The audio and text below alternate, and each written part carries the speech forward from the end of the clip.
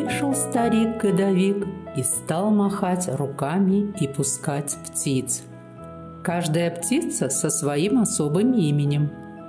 Махнул старик-годовик первый раз, и полетели первые три птицы. Повеял холод, мороз. Махнул старик-годовик второй раз, и полетела вторая тройка. Снег стал таять, а на полях показались цветы.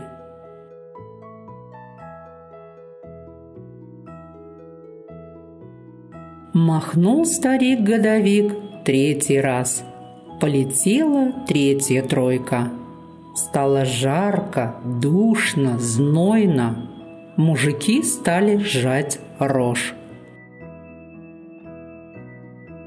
Махнул старик-годовик четвертый раз, и полетели еще три птицы. Подул холодный ветер, посыпался частый дождь, залегли туманы. А птицы были непростые. У каждой птицы по четыре крыла. В каждом крыле по семи перьев. Каждое перо тоже со своим именем. Одна половина пера белая, другая черная. Махнет птица раз, станет светлым светло. Махнет другой, станет темным темно. Что же это за птицы вылетели из рукава старика-годовика?